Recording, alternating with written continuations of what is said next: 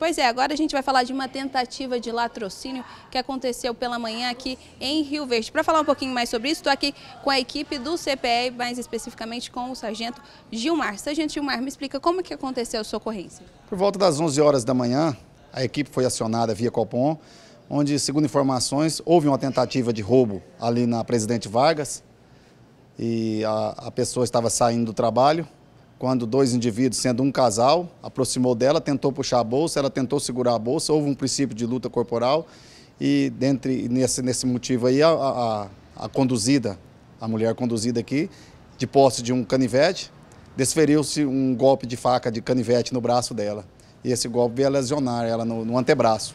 A equipe deslocou para o local e no local lá ficamos sabendo que os indivíduos já não estavam mais no local, mas que um popular estava seguindo ele foi passadas as informações.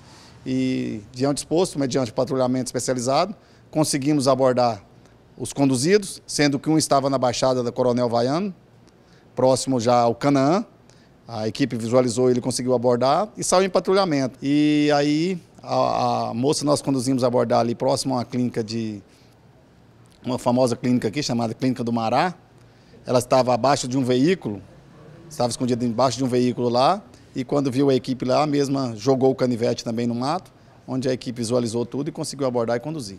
Um trabalho rápido feito aqui pela equipe do CPE que vocês conseguiram então efetuar a prisão desses dois suspeitos, os dois autores desse crime.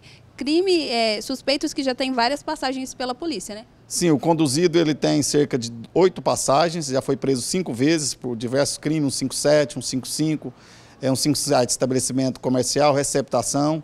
E a conduzida, ela tem seis passagens. Todos eles são oriundos da cidade de Goiânia e, segundo eles, são moradores de rua aqui e usuários de, de, de drogas, de crack.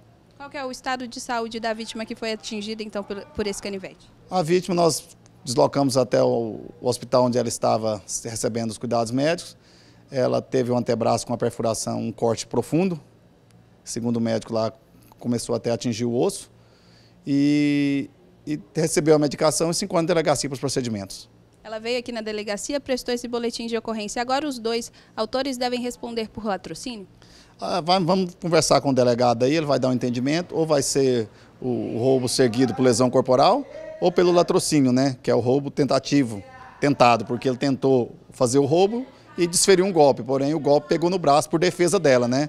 Aí vamos receber o que, que o delegado vai entender aí e vai fazer o procedimento. Esse é o trabalho do CPE, CPE na rua, dando essa resposta mais rápida e trazendo segurança para a população, né? Sim, a CPE está sempre à disposição aí, conforme o comando do 8 CRPM, do comando do nosso nossa companhia.